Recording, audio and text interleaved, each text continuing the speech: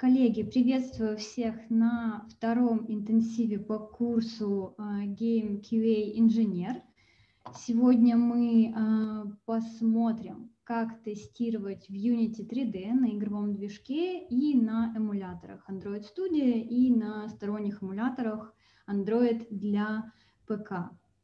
Меня зовут Надежда, я руководитель отдела тестирования в компании Береснев Games – по образованию я инженер-программист, окончила СФУ и КИТ в городе Красноярске. Написать мне можно на почту бересневqa собака.gmail.com.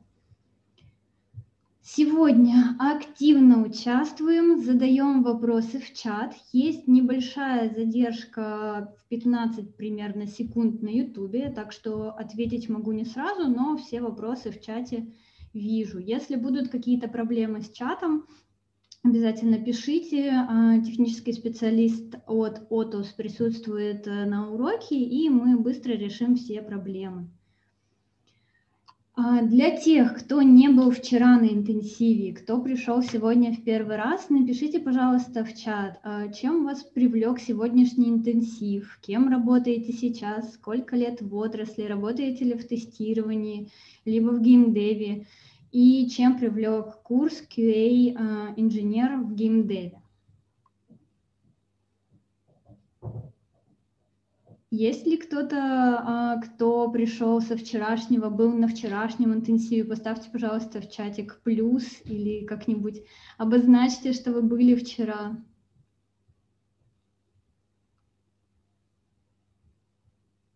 Угу, пока вы пишете в чат, я э, расскажу, чем сегодня займемся. Сегодня познакомимся с инструментами для тестирования мобильных игровых проектов, попробуем запустить игру в эмуляторе BlueStacks и попрактикуемся в сборе логов с мобильной игры. Создадим свой, э, свое тестовое устройство в эмуляторе Android Studio и попытаемся поймать, а, пройтись по тому чек-листу, который мы составили вчера. Давайте вы, с вами немножко поговорим про игровые движки. Как вы думаете, а, зачем они вообще нужны? А, и приходилось ли вам делать, взаимодействовать с каким-то из игровых движков? Писали ли вы какие-то прототипы, может быть, для себя? Ковыряли в Unity или Unreal для себя? Или писали какую-то свою игру, возможно, на HTML, напишите, пожалуйста, в чат.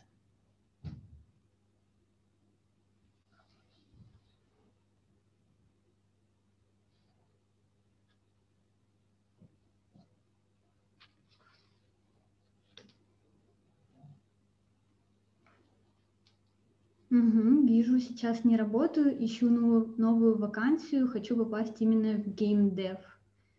6 месяцев опыта. А 6 месяцев опыта именно в тестировании или в какой-то другой сфере?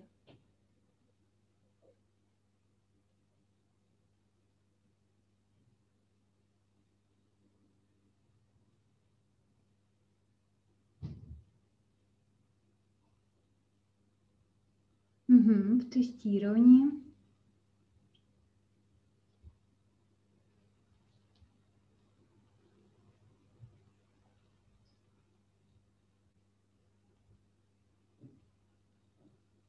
Геймдев лес темный, интересно. Это точно. Лес полный ужасов.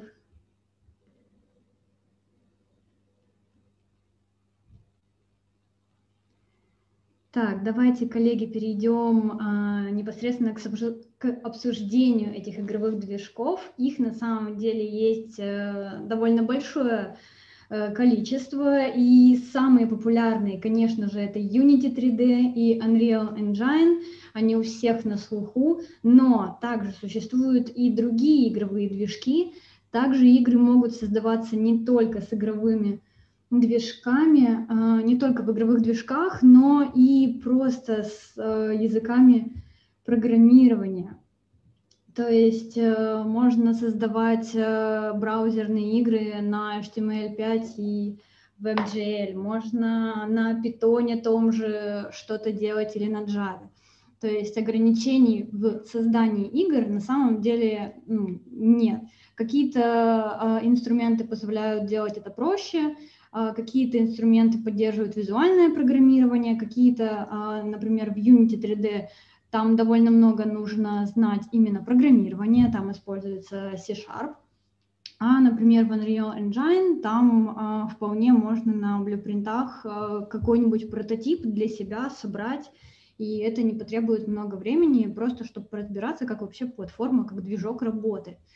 Вот. А, и а, Unreal Engine также там используется а, C++, тоже можно попрограммировать, почему бы и нет я на слайде прикрепила ссылочку на список игровых движков. Если интересно, можете посмотреть, покопаться, какой движок, что поддерживает, для чего более применим. Например, на Unity 3D, в принципе, сейчас он самый популярный, потому что позволяет создавать как 3D а, а, игры, так и 2D. А, вот. И он бесплатен, если ну, какой-то какой-то прототип можно сделать, и если уже захочется его выпускать, то уже э, там э, потребуется купить э, лицензию. Все лицензии, они э, разной стоимости, и на сайте это можно посмотреть, уточнить, сколько будет стоить выпустить свою игру и посчитать. Для запуска проекта в Unity потребуется несколько пунктов. Опять же, мы тут переходим к чек-листу. Во-первых, э, когда вы приходите на проект, который вам нужно протестировать, вам должны предоставить доступ к проекту или через систему контроля версий, или через Dropbox, или через локальную сеть. А, вообще, э, ну, здесь нет ограничений у команды, как поделиться э, с, как делиться между собой проектами. Чаще всего это происходит через систему контроля версий. Попозже мы к ней еще вернемся. Также необходимо, ну, опционально тоже, установить Unity Hub. Чем удобен этот инструмент? Этот инструмент удобен тем, что вы можете с помощью него э, ставить э, любые версии Unity и для этих э, версий, э, для своих проектов выбирать версию. То есть у меня вот, например, стоит несколько версий Unity для разных проектов. И здесь уже я через Unity Hub могу а, управлять этими версиями, либо добавлять новую, либо удалять э, ту, которая уже не нужна. И на вкладке Project а, могу а, управлять, э, с какой версии Unity я запускаю а, проект. А, это находится, скачать Unity Hub можно с официальной страницы Unity, а, когда вы переходите там а, и нажимаете «Скачать Unity», то здесь есть у вас два выбора. Либо просто версию, которую вы уже знаете, какую нужно скачать, либо Unity Hub, и там уже дальше через Unity Hub вы устанавливаете ту версию, которая вам необходима. Но здесь есть момент, что для Unity необходимо создать, э, ну, залогиниться, создать аккаунт, вот, и а, этот аккаунт, он обязательно, а, его обязательно нужно создать. Если вы работаете над каким-то коммерческим, коммерческим проектом, то у вас будет, а, вам команда должна предоставить э, лице, ну, как бы лицензию, что вот мы работаем по такой-то, такой-то лицензии, она обычно по подписке предоставляется у Unity. А если вы чисто для себя хотите посмотреть, э, что там в Unity да как, там а, необходимо выбрать а, персональный а, аккаунт, то есть вы просто для себя Unity изучаете, и тогда все становится бесплатно. Также через Unity Hub можно запустить вот такие вот обучающие проекты, где вас, э, где Unity сама для своих э, пользователей создает всякие туториалы, а, какие-то проекты, которые можно самому создать. Тут и, и платформеры создаются, и всякие маленькие игры. Вот, и можно самому посидеть, посмотреть, поучиться. Вот. И также а, от команды вам нужна версия Unity, потому что не всегда а, проект поддерживает, вы можете открыть проект с любой версией, то есть необходимо именно знать ту версию, на которой а, девелоперы создают проект, потому что иногда они могут идти в конфликт и просто проект будет запускаться с ошибками. И также вам необходимо знать настройки проекта. Это тоже чуть позже покажу, когда мы Unity запустим. Поговорим о системе контроля версий. Это такой инструмент, который позволяет команде работать над одним проектом а, и не, не, не уронить этот проект. То есть это такая э, система древовидной структуры, где у вас есть самая центральная ветка, в которой, с которой обычно собираются релизные версии, и от этой ветки э, каждый себе делает копию, и в этой копии работает, вносит какие-то изменения, и потом изменения вливаются уже в основную ветку после того, как в копии сделаны все э, изменения, и эта копия протестирована. Вот. Подробно а, о том, как работает гид, э, лучше посмотреть э, во всяких туториалах. Их сейчас просто огромное количество и на ютубе, и просто в текстовом виде можно посмотреть. Я здесь оставила ссылку на Gitbook. Это самый популярный сервис, где доступно объяснено в примерах, как гид работает. Для тестировщика самые важные команды это создание новой ветки, как, как же по-русски это сказать, как бы забирание, э, копирование тех изменений, которые э, внес разработчик в эту ветку. То есть мы с облачного хранилища забираем изменения себе на локальное устройство и уже смотрим, что разработчик там в этой э, ветке сделал, и проверяем по чек-листу, что все, все учтено, все поправлено. Вот, и, в общем, add, commit, push, pull, checkout, reset — это самые наши основные команды. Вот. А на, у нашей команды мы, как тестировщики, не вносим никакие изменения в проект, мы только а, забираем, пулимся с ветки, которые а, создают а, разработчики, и смотрим, что все те изменения, которые были внесены, они а, отрабатывают так, как а, описано в задаче, и также переключаемся командой checkout, на разные ветки, чтобы, ну, собственно, смотреть от разных разработчиков разные версии. Вот. Можно работать с гитом как из командной строки, так и специальными инструментами. Если честно, я не поклонник командной строки, потому что инструментами это проще. это визуально проще, и вся наша команда работает с специальными инструментами, а, потому что так проще коммуницировать. Если кто-то работает из командной строки, то ну, ни, ничто не запрещено. Так что, как вам больше удобно коммуницировать между командой и работать самим, то и используйте. Никаких ограничений я тут не вижу. А, запуск проекта в Unity 3D. Смотрите, а, запускаем, а, я обычно запускаю с Unity Hub, нажимаю просто на тот проект, который у меня уже добавлен в Unity Hub. Делается это по кнопке Add и выбирается та папка, которая предоставлена от команды разработчиков. Я уже Unity заранее открыла, потому что это долгий процесс на моем ноутбуке, поэтому я решила вас не задерживать и открыла заранее. Вот. После того, как вы открыли проект в Unity, он довольно долгое время а, подгружает скрипты и собирает проект воедино.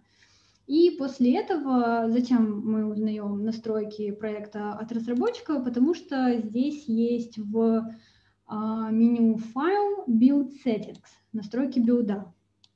И вот здесь уже а, у каждой команды могут быть разные настройки. В нашей команде мы всегда а, билдим, переключаемся на платформу Android.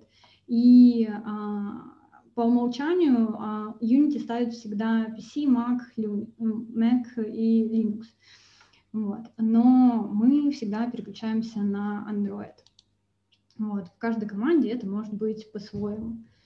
Вот. Далее здесь, после того, как загрузился проект, открываем сцену. Обычно э, расскажу немножко про интерфейс Unity. Здесь есть э, главное окошечко с игрой непосредственно. Мы можем переключиться на сцену. походить по сцене, посмотреть. Так, сейчас переключусь. Посмотреть непосредственно э, то, что у нас находится на сцене.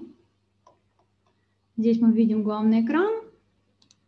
Можем повертеть с разных сторон, посмотреть. Но конкретно здесь, в этом случае, для э, 2D-игры это нам не сильно поможет.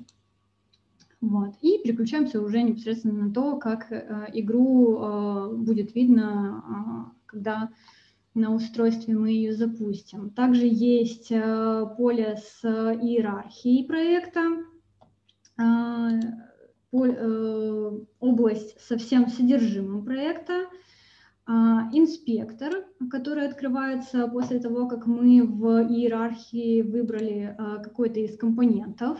И здесь уже в инспекторе можно, ну, разработчики э, настраивают полностью проект.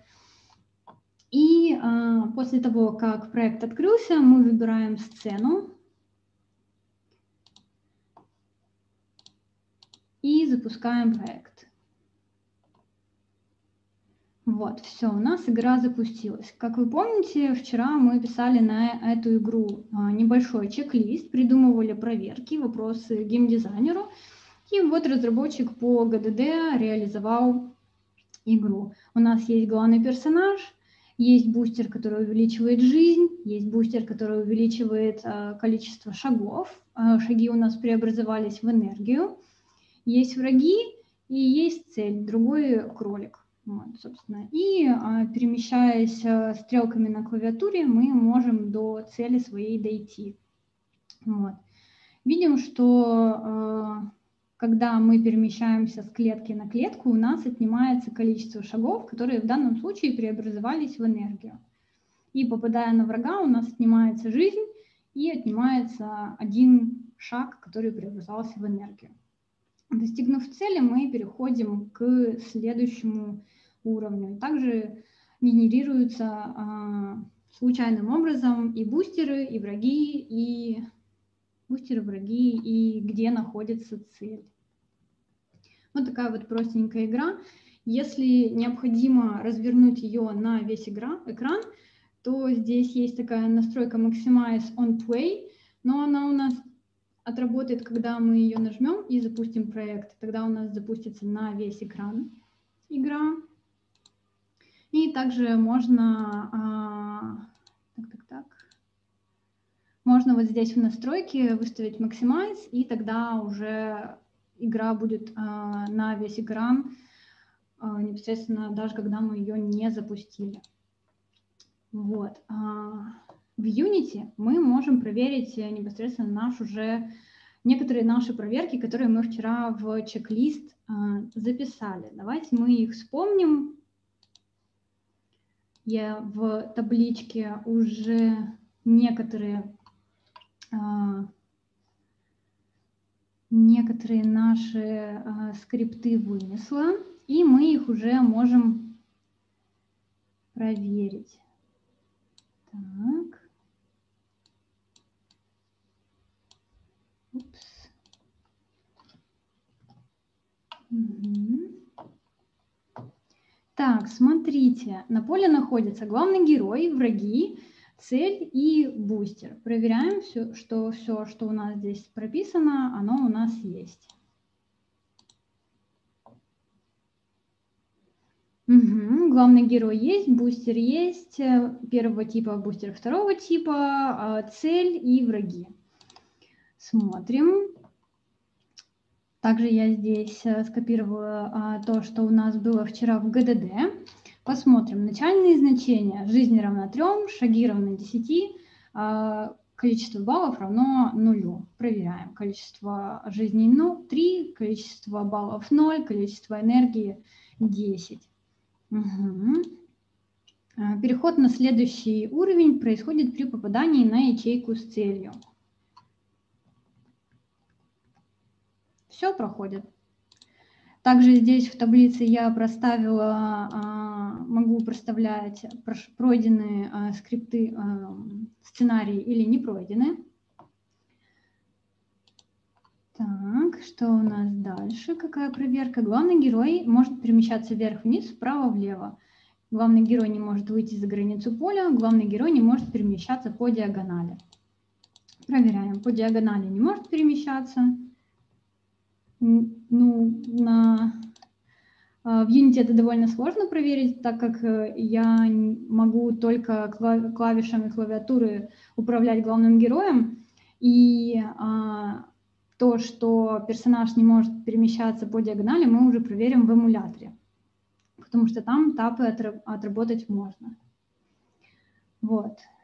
Так что мы проверили, что главный герой может перемещаться вверх-вниз, вправо-влево, не может выйти за границу поля, а по диагонали мы проверим уже в эмуляторе. Главный герой получает э, минус один к э, шагам при переходе на ячейку. Это тоже мы проверили. Вот, переместился на соседнюю ячейку, потерял э, одно значение в шагах. И вот так по порядку можно основные геймплейные проверки наши провести, а то, что мы не смогли проверить в Unity, это можно проверить уже непосредственно на эмуляторе.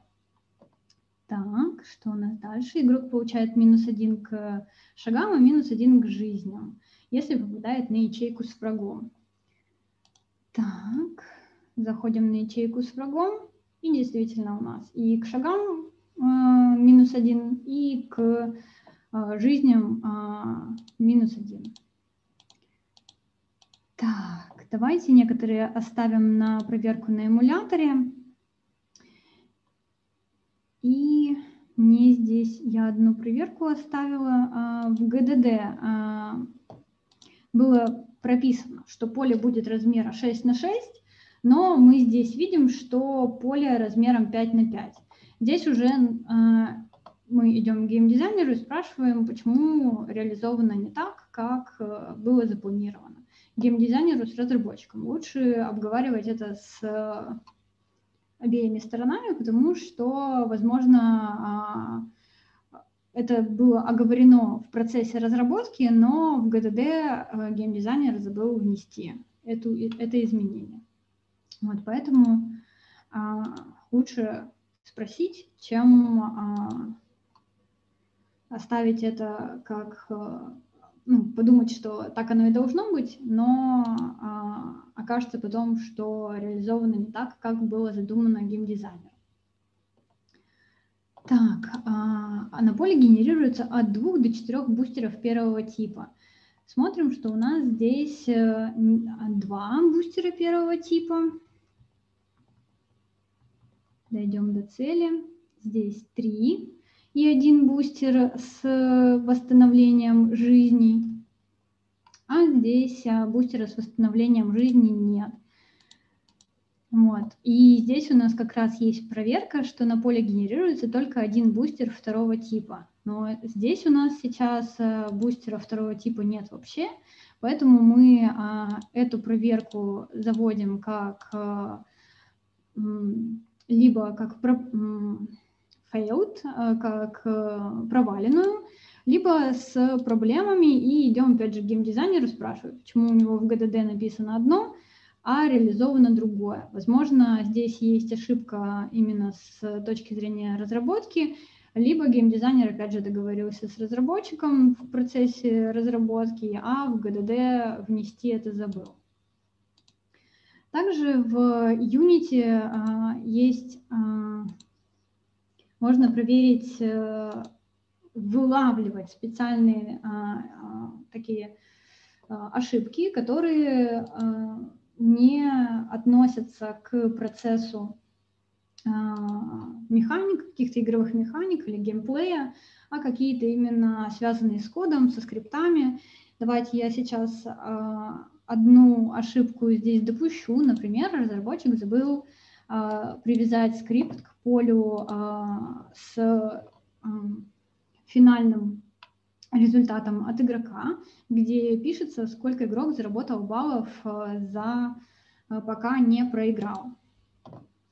Так, запускаем игру. Так, сделаю побольше. И, например, несколько уровней я пройду. И вот на этом уровне проиграю. И здесь у меня пишется в поле а, на экране с баллами, пишется какое-то а, значение, которое не соответствует тому, сколько игрок заработал, проходя игру. И здесь у нас выпало в консоли как раз э, это а, то место, где а, игровой движок Unity 3D а, репортит о ошибках. Здесь у нас выпала ошибка No Reference Exception. Прежде чем идти к разработчику, лучше погуглить, что это, ошиб... что это за ошибка и почему она может возникать. Также помимо ошибок в Unity есть просто сообщения информационные, чаще всего мы на них не обращаем внимания. А вот здесь, включив настройку именно а, фильтрация, показывать только ошибки, можно выловить вот такую вот ошибку. А, конкретно в нашем случае здесь получилось так, что разработчик просто забыл к вот этому полю привязать скрипт, который обрабатывает и выводит на а, экран, сколько игрок получил баллов, проходя уровни. И э, перезагрузив игру, у нас просто, вот я нажимаю на клавишу передвижения, и с главным героем ничего не происходит, он остается на месте, то есть э, просто намертво игра зависла. Вот. Это может привести к, про к проблемам. Верну все как было, чтобы игра дальше работала. Так, и давайте мы с вами побеседуем, есть ли э, вопросы по поводу этого блока.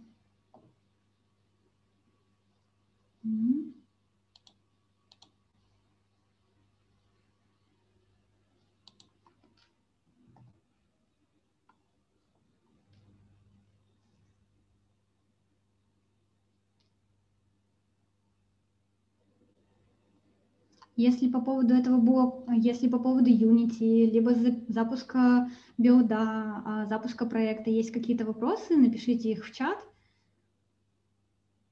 Пока что все было понятно, отлично.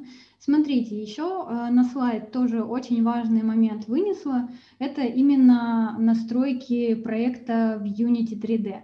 То есть я вам уже показывала, что должны быть э, а, выбраны именно те настройки, для проекта, которые а, используют разработчики в а, создании. М-м, презентация выключена. Напишите, пожалуйста, в чат, если презентацию перестало быть видно.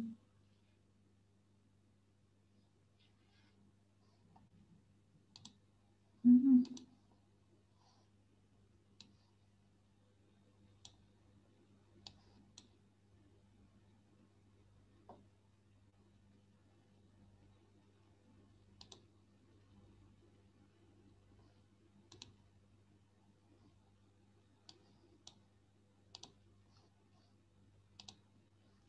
Так, я все вернула на место, извиняюсь.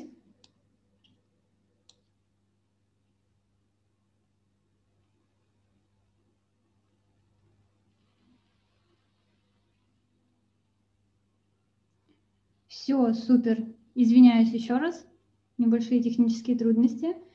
Вот, я вынесла на слайд, на презентацию настройки э, билда, которые необходимо узнать у разработчика а, и здесь выделила красной рамкой это те настройки, которые используются, если билд собирается под Android-платформу. Обязательно вот эти вот две настройки тоже нужно указать при установке той версии Unity, которую вы будете использовать для проверки проекта. И здесь прикрепила ссылочку а, на а, как раз страницу а, на а, Help Unity, где можно прочитать про эти компоненты.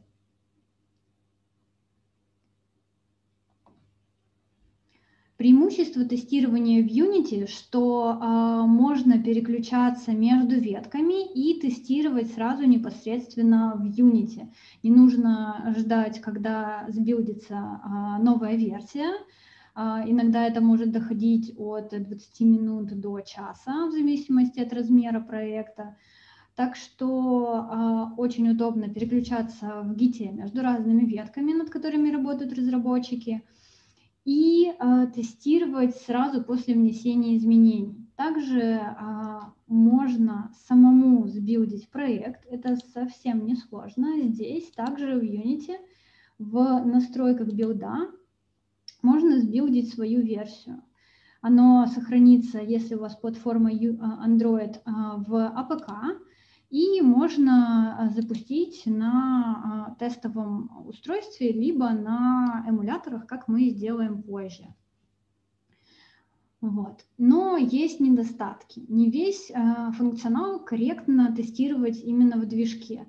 Например, если вам нужно протестировать покупки внутриигровые, либо протестировать рекламную медиацию, э, например, если э, в а, мобильной игре а, предусмотрено, что игроки будут иногда смотреть рекламные ролики.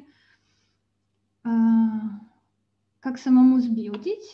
Открываете свой проект в Unity, нажимаете «Файл», «Build Settings» и «Build». Если у вас стоит платформа Android, он в APK-шку, в специальный формат для запуска игр, приложений на мобильных платформах а, билдит, и вы просто подключаете, а, кидаете это пока на свое устройство, либо, как мы впоследствии посмотрим, а, либо на эмуляторы. И там уже на эмуляторах э, эмулируется именно устройство. Мы дальше все посмотрим. И некоторые проверки можно проверить так. Вот. Но чаще всего э, в проектах э, э, релизные версии, либо предрелизные версии, либо какие-то промежуточные версии билдятся разработчиками по специальному пайплайну, и ну, тестировщикам часто это не нужно. Но вы знаете, что такая возможность есть. Ну и также вы можете, когда создаете, чтобы посмотреть, что вообще Unity себе представляет, вы можете создать какой-то небольшой проект и его сбилдить, и посмотреть, как это будет работать на устройстве. И если вы тестируете в Unity, есть э, вероятность пропуска бага, есть, так как некоторые баги воспроизводятся только на определенных устройствах при определенных э, действиях пользователя. Например, очень часто бывают Э, такие а, ошибки, когда игрок э, зажимает в нескольких местах экран. Вот, то есть, ну, вы сами знаете, что вы когда что-то делаете, параллельно еще смотрите что-то на устройстве, можно свое устройство там зажимать в нескольких местах, да, буквально десятью пальцами. И часто это невозможно предусмотреть и протестировать в Unity, и все-таки необходимо это протестировать на устройстве. Вот. И в Unity а, тапы очень сложно эмулировать, особенно если десятипальцевые. Вот. Давайте обсудим, если остались какие-то еще вопросы по этому блоку.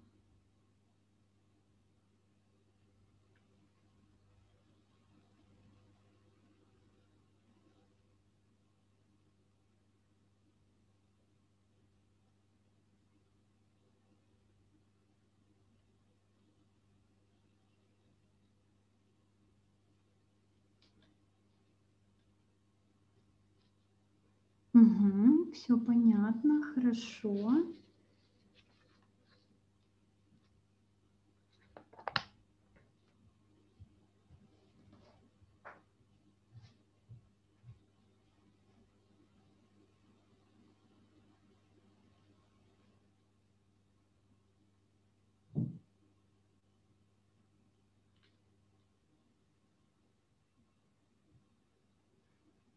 я так вижу, что вопросов нет. По Unity закрою тогда немножко тему а, тем, что если вы будете тестировать на Unity, то нужно набраться терпением, потому что Unity очень часто бывает долго э, собирает проект, долго переключается с ветки на ветку, долго подгружает скрипты, и нужен хороший компьютер, который э, будет все эти ситуации обрабатывать, и наберитесь терпения, тестируя в Unity.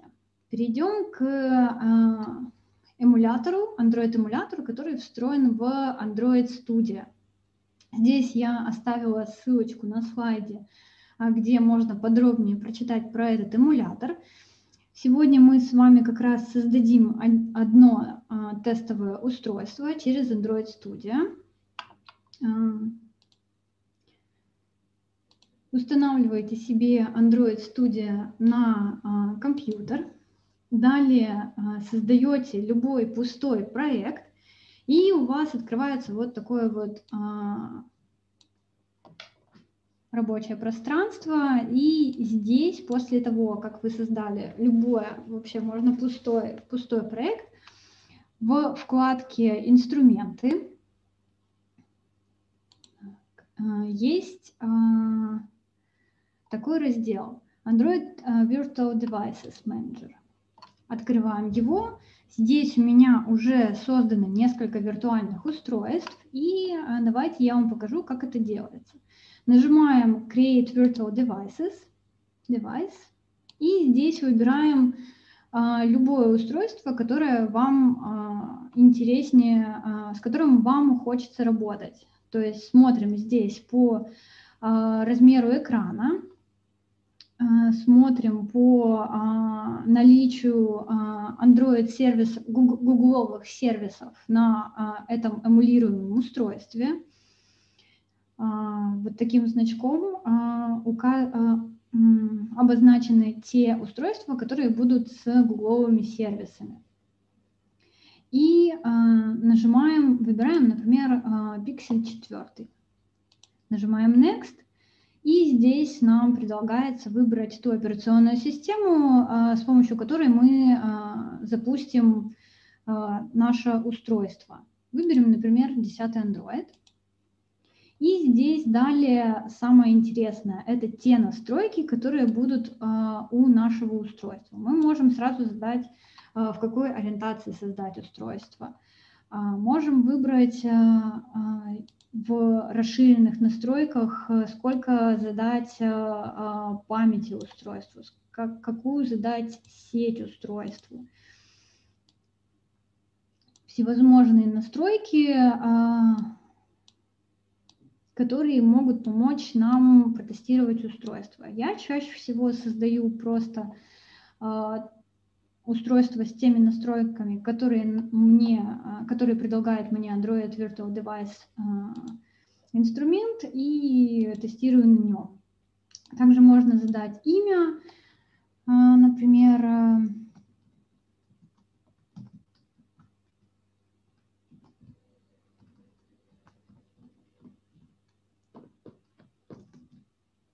да, и зафинализировать всю настройку. Я сейчас это устройство создавать не буду, потому что мне достаточно тех, которые у меня уже созданы, и я думаю, что э, мой компьютер не справится с еще четвертым устройством. И после того, как э, устройство создано, мы его можем запустить. Чем преимущество? А, и видим на экране, собственно, устройство настоящее. Здесь есть несколько настроек, которые а, можно а, применять для этого устройства. Включаем его обычной кнопкой «Включить», и здесь у нас полностью смоделированное устройство, как бы оно было у нас э, в руках. Есть Play Store, Немножечко у меня тормозит э, все это дело, потому что компьютер просто не справляется с тем наплывом, э, с, с тем, э, с этим устройством. Сейчас я закрою э, Unity, чтобы моему компьютеру было попроще. И пройдемся пока по настройкам, которые можно а, указать, а, создав а, тестовое устройство. Мы можем выбрать локацию, с которой как будто бы мы находимся с этим устройством. Можно выбрать настройки дисплея, настройки сети. Можно симулировать, что устройство у нас садится и даже состояние аккумулятора устройства – так, что-то у меня сломался. тестовое устройство. Можно задать э, камеру, можно э, смоделировать, э, сэмулировать, э, как будто бы нам кто-то звонит на устройство, либо пишет смс. И э, любые другие э, настройки, которые здесь есть, можете их на странице э, о этом э, функционале посмотреть, почитать. Но э, чаще всего пригождаются именно настройки по сети, по батарее, по эмуляции звонка. И здесь также есть функционал, который позволит записывать, делать запись с экрана, чтобы нам, если мы какой-то баг, на какой-то баг наткнулись, мы могли его записать. Также можно поворачивать устройство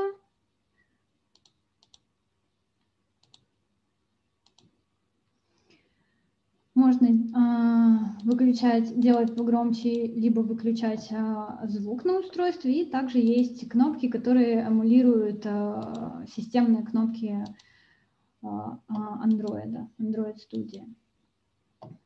Так, и э, вот как раз здесь сейчас нам пригодятся те а, АПКшки, которые мы заранее э, сбилдили с Unity. Я, к сожалению, билдить сейчас не буду вам показывать, потому что Unity просто сожрет мне ресурсы компьютера. Я сбилдила заранее все а, АПКшки и сейчас могу их просто запустить на а, их установку на этом тестовом устройстве и запустить, посмотреть, как это будет выглядеть.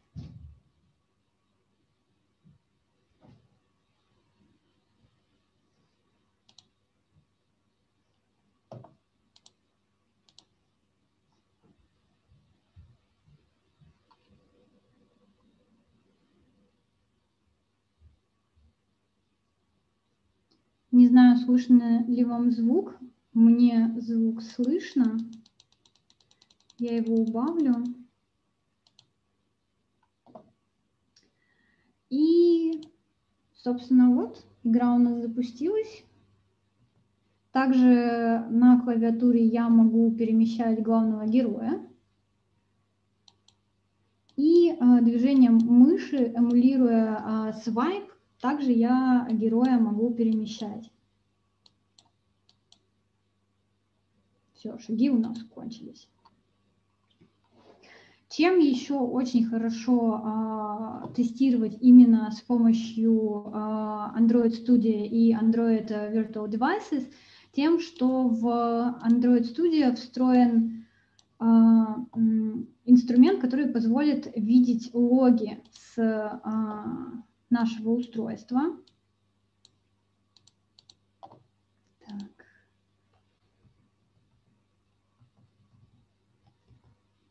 Но почему-то он у меня сейчас не... Ага.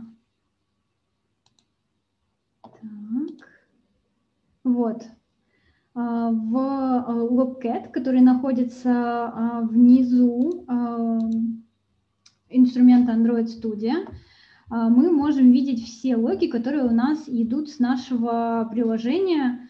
Выбрать а, приложение можно в поле а, с разными устройствами, так как у меня уже на моем компьютере было несколько устройств запущено, то я могу выбрать из нескольких и вот выбираю то, которое сейчас запущено.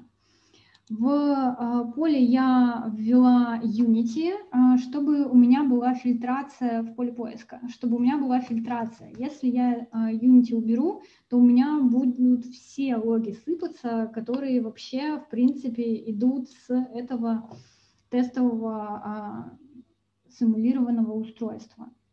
Чтобы мне это все не смотреть, а смотреть только то, что мне нужно с моего устройства, ввожу Unity и просматриваю только те логи, которые а, сыпятся непосредственно с нашей игры. Вот, давайте мы смоделируем а, ту ошибку, которую мы уже видели, когда а, тестировали в Unity. То есть у нас программист забыл какой-то скрипт а, прикрепить к компоненту. Вот у меня есть уже заготовленная эта АПКшка. также устанавливаю на устройство и запускаю. Почищу логи. Угу. Ждем запуска. Если у вас есть какие-то вопросы, пишите их, пожалуйста, в чат, я все посмотрю и на все отвечу.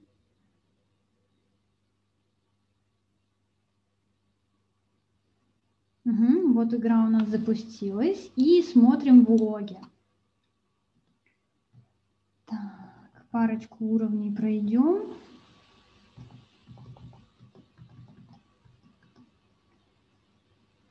Так, подождать. И проиграем. Видим нашу ошибку и видим, а, что а, no reference exception также пришел в logcat.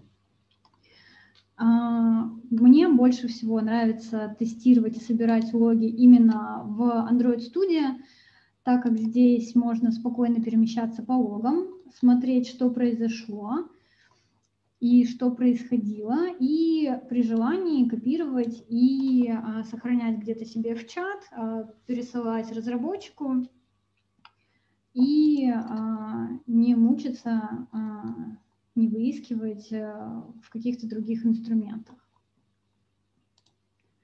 Так, нажимаем, рестарт и пробуем. Да, у нас ничего не происходит, игра намертво зависла, точно так же, как и в Unity. Сворачиваем игру. Угу. А, Еще одно преимущество а, эмулятора в Android Studio то, что когда вы выключаете а, ваше устройство, оно сохраняет состояние, которое было до выключения, и все установленные, все настройки, все установленные программы и все настройки, которые были на этом устройстве до выключения, они все сохраняются. Мой компьютер не справляется с эмуляцией. Так, с эмуляцией из Android Studio. Так, выключаем. Saving State. И здесь видно как раз э, все наши устройства и сколько они занимают места. Вернемся к презентации. А, преимущество тестирования именно в Android Studio – это наличие Google сервисов, можно тестировать на устройствах с разными разрешениями, можно а, проверять рекламные сетки, а, но недостатки – это ограниченный парк устройств в Android Virtual Devices. Здесь мы видим только пиксели, Nexus, а, также здесь можно протестировать и для а, приложений, для часов, для планшетов, автомобилей и телевизоров. Но если хочется какой-то специфичный, отличный от тех устройств, которые здесь представлены, то придется уже как-то по-другому выкручиваться.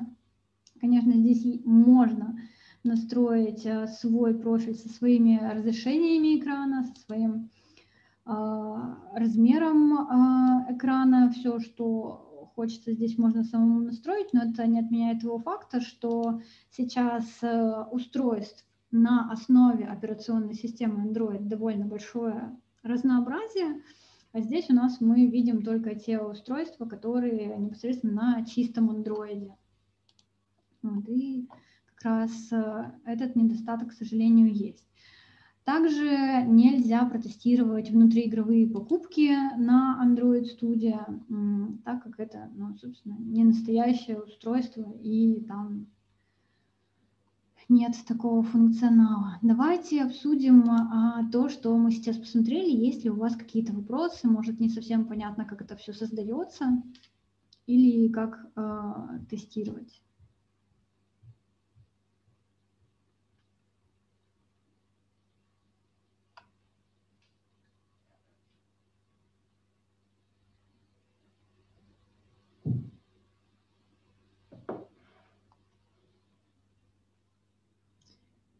Все ок. Угу, отлично.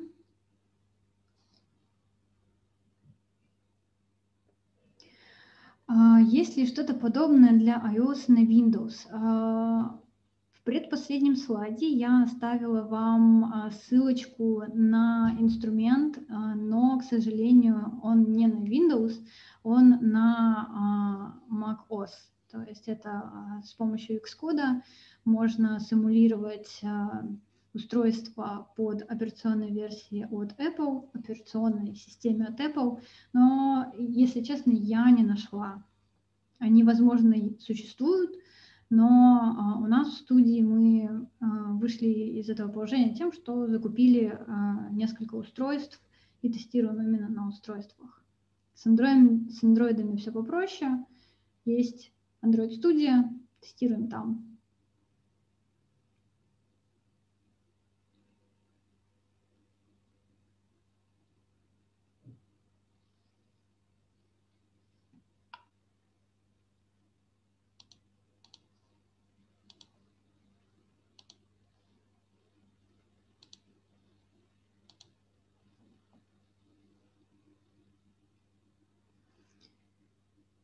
Да, да, можно и в Unity использовать.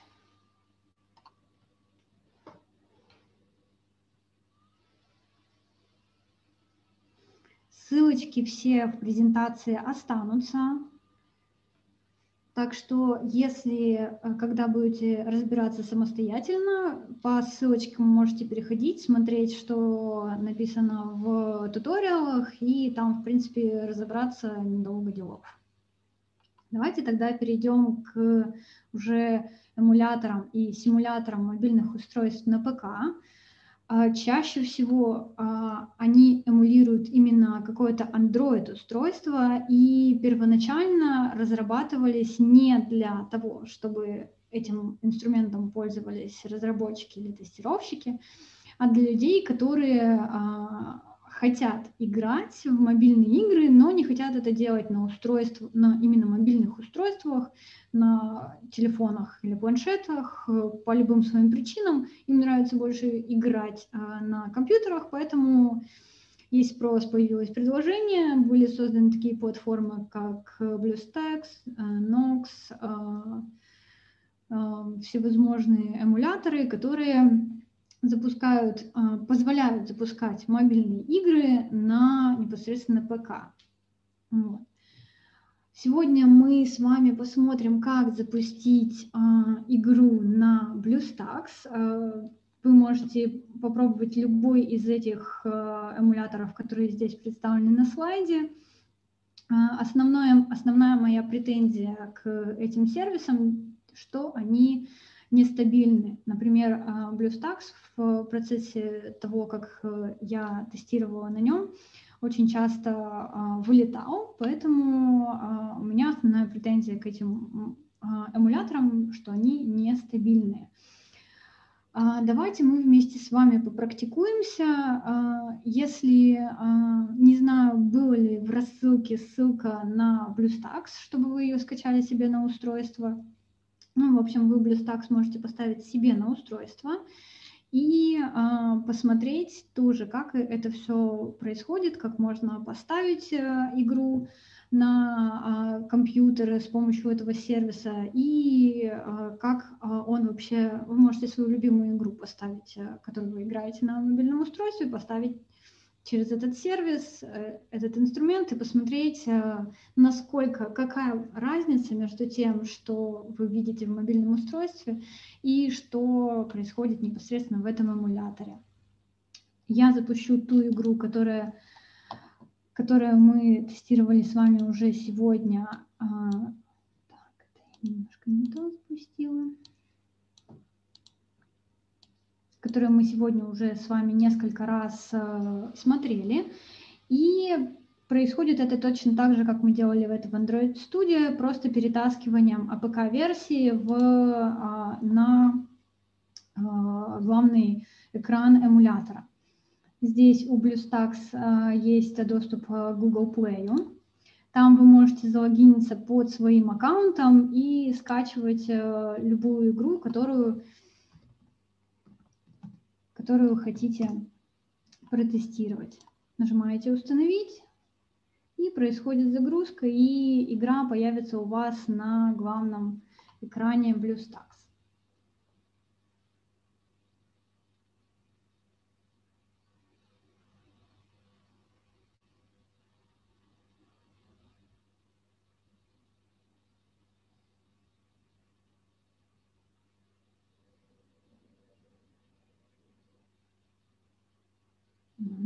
Установлено. Переходим на главный экран. На главном экране, на экране видим игру, которую мы только что установили. Так, когда мы запускаем нашу игру с зайцами и волками, запускается все то же самое, что мы уже сегодня видели и в Unity 3D, и в Android эмуляторе. И точно так же мы здесь можем либо свайпом перемещать главного героя по карте, либо с помощью клавиш клавиатуры. Все то же самое.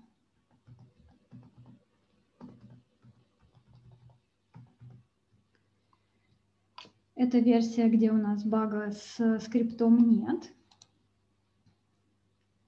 Так, закроем. И смотрите, BlueStacks, BlueStacks также позволяет а, смотреть логи с, того, а, с той игры, которую мы а, хотим протестировать. Установим версию с багом, запустим ее. И э, у меня уже заранее скачан инструмент э, Android Debug Bridge. Это э, специальный инструмент, похожий на Logcat, который используется в Android э, Studio, но э, доступ к нему возможен через консоль. Ссылочка на то, где его скачать, также будет в презентации. И здесь я могу подключиться к тому, к тому устройству, которое у нас сейчас запущено в BlueStacks набираю а, ADB XE, но можно без XE, без расширения, и набираю devices.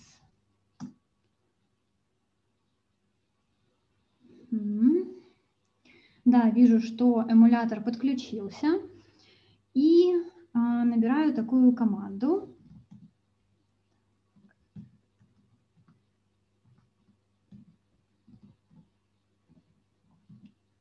Тоже OPCAT и пишу фильтр по Unity.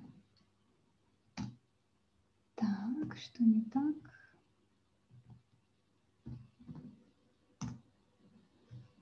Угу. Лишнее. И вот э, видим все логи, которые у нас идут с нашего э, приложения, которое запущено в эмуляторе. Пройдем несколько уровней. И здесь на этом уровне проиграем. Так, и опять же ищем наш exception.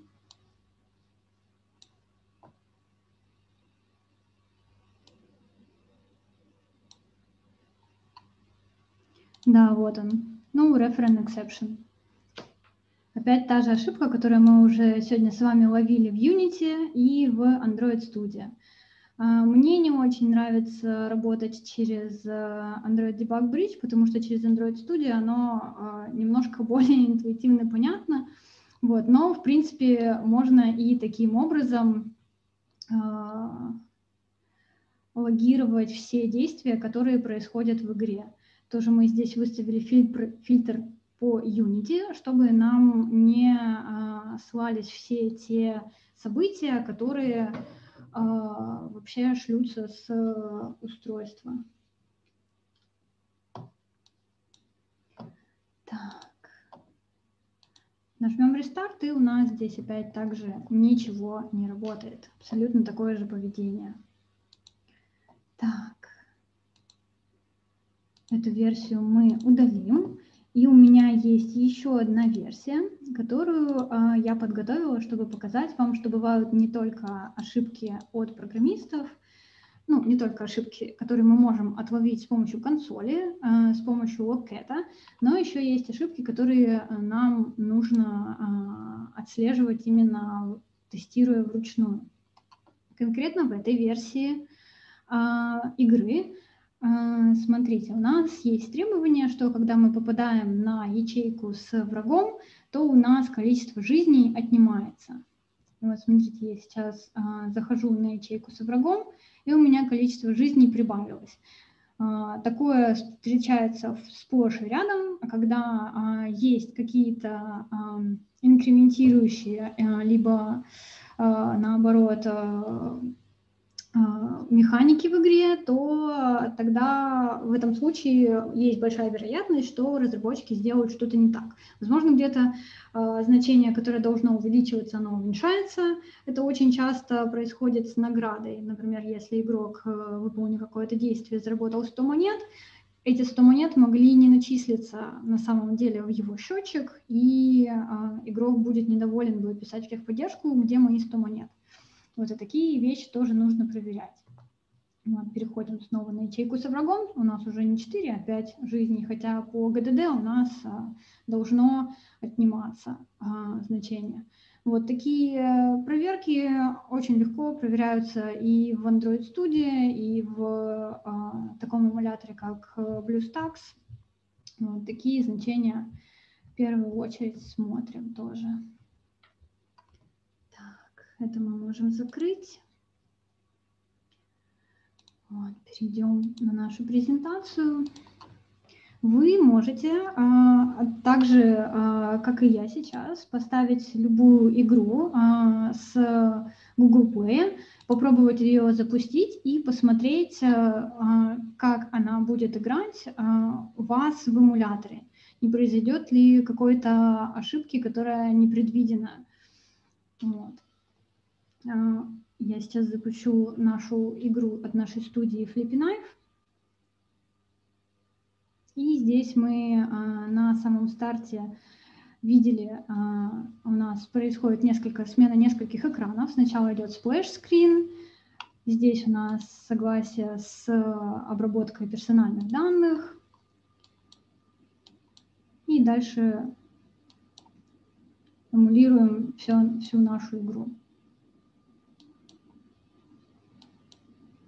Вы можете прямо сейчас, а, если у вас установлен BlueStacks, поставить любую игру и посмотреть, как, она, а, как вы с ней можете взаимодействовать в этом эмуляторе. Все ли вы можете а, действия, которые вы можете произвести на мобильном устройстве, точно так же повторить в этом эмуляторе.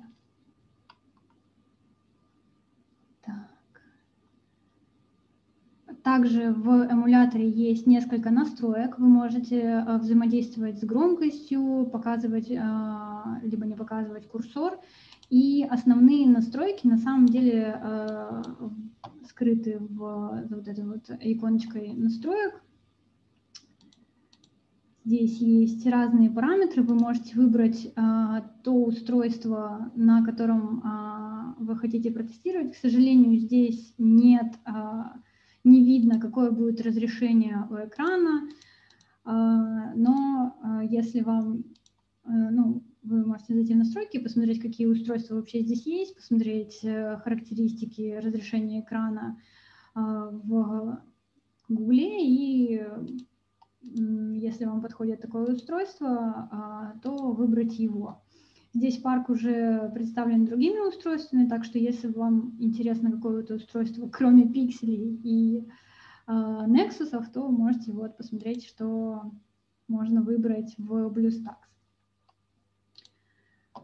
Так, сбросить изменения. Вот, и также есть э, настройки по разрешению экрана, по настройкам DPI, и всевозможные движки, какие а, можете тут покопаться, посмотреть э, разную частоту кадров, поставить. Настройки тоже позволяют, а, они не позволяют протестировать какие-то а, сценарии, которые могут произойти у игрока, например, там звонок э, другого пользователя или push-уведомления, но какие, какие-то никакие устройства, настройки можно здесь задать. Так, мы закроем, свернем. И по преимуществам и недостаткам. Как я уже сказала, что эмуляторов э, большой выбор. А, можно выбрать тот парк устройств, который вам больше всего подходит в разных э, эмуляторах, посмотреть, какие есть устройства. А, инструментарий тоже позволяет разные разрешения экрана настроить, размер оперативной памяти, уровень а, сигнала мобильной сети. Это уже, к сожалению, здесь а, нет. Это относится к эмулятору на Android Studio. И также можно сохранять тестовое окружение. То есть, когда вы закроете мобильный вот этот вот BlueStacks, то все, что находится внутри, оно все сохранится открываем. Но а, есть баги, связанные с самим эмулятором, и нельзя а, имитировать работу при различном состоянии мобильной сети и аккумулятора. Работу камеры мобильного устройства и другие специфичные настройки, которые обычно нам при тестировании нужны, но в эмуляторе они не предусмотрены, так как они больше для эмулятора больше созданы для того, чтобы играть в игры, а не тестировать их и не разрабатывать. Есть ли вопросы по этому блоку? Давайте обсудим. Были ли у вас, а, был ли у вас опыт работы с какими-то из этих эмуляторов, которые были перечислены на слайде выше?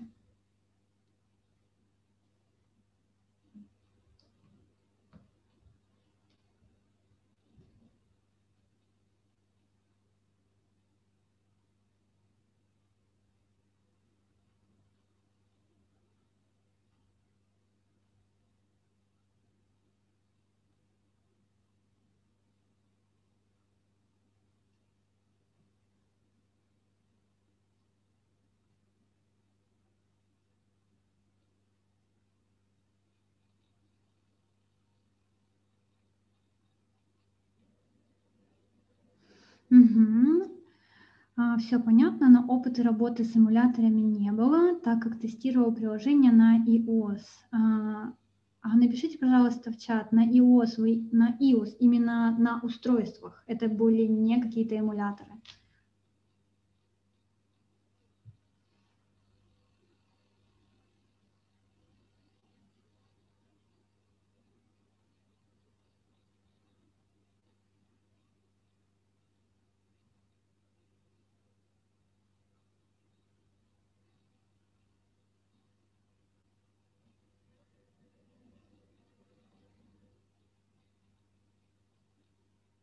На iOS, кстати, сейчас у Apple появились э, новые устройства с их новыми процессорами, и там уже те а, игры, которые угу, именно на устройствах, а, игры для мобильных устройств на этих процессорах, на этих устройствах, MacBook уже можно запустить и тестировать непосредственно на MacBook. И это очень удобно.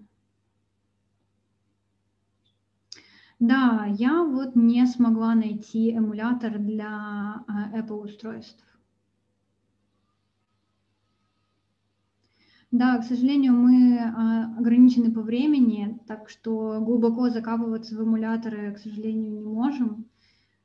По верхам, по верхам поскакали. А можете поставить это все эмуляторы, все те, которые мы рассмотрели. У них у некоторых есть подписка, а, но а, у некоторых, например, у какой же я пробовала, вот этот, вот этот эмулятор, он с подпиской, но у него есть бесплатный период. Вот. И BlueStacks, он абсолютно бесплатный, там даже логиниться не надо а, в вот этом инструменте а, и Redfinger, а, там, по-моему, обязательно нужна регистрация. Без этого они не запускаются.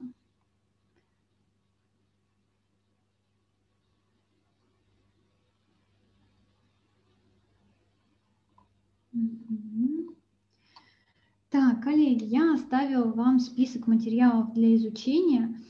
Unity, а, если вы будете работать с движком Unity 3D, то очень советую с ним познакомиться, попробовать в нем создать какую-нибудь игру, банально даже там змейку какую-нибудь, а, чтобы просто посмотреть, как это все работает, а, сам интерфейс – потому что чаще всего это сильно ускоряет э, процесс взаимодействия с а, отделом разработки, когда вы сами понимаете, куда можно зайти, где можно посмотреть и как быстрее понять, что произошло не так, чтобы помочь разработчику и написать в баг-репорт разработчику, что пошло не так.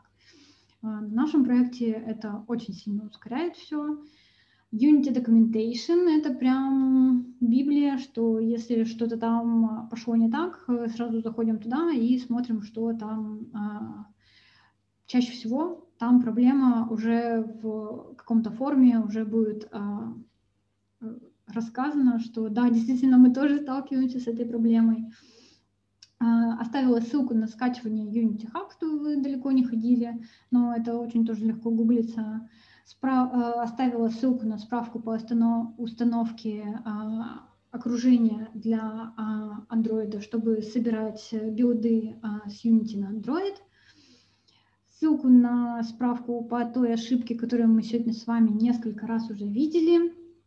А, ссылочки на Android Virtual Device и Android Debug Bridge.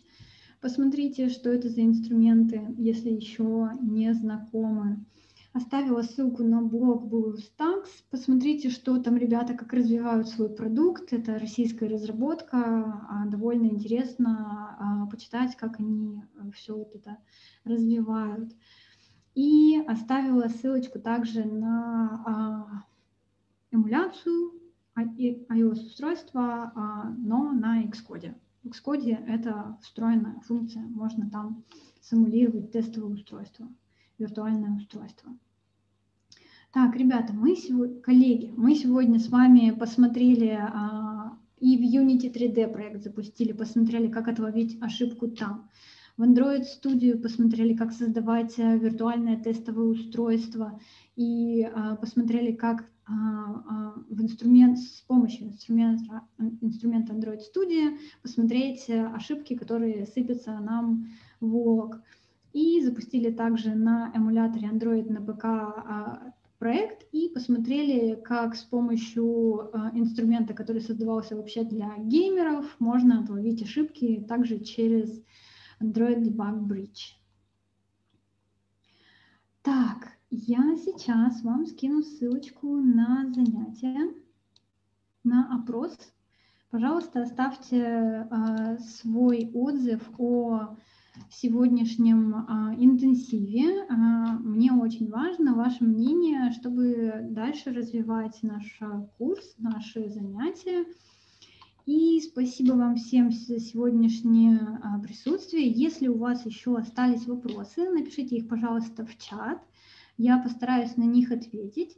Если у вас есть вопросы по курсу э, Game QA Engineer, QA Engineer, то вы можете задать их сейчас, э, либо посмотреть и оставить комментарий кураторам на странице курса, либо написать на почту help.otus.ru. Курс начинается 26 мая. Так. ссылочка на курс на а, страницу на Отусе.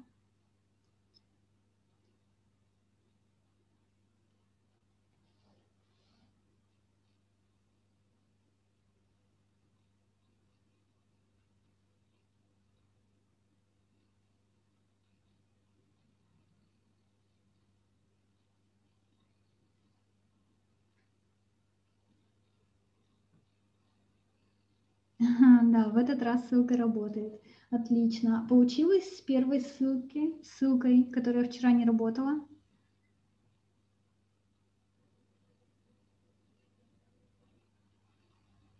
Если что, в рассылке, которая придет после интенсива, там тоже будет ссылочка на опрос. Да, это грустно.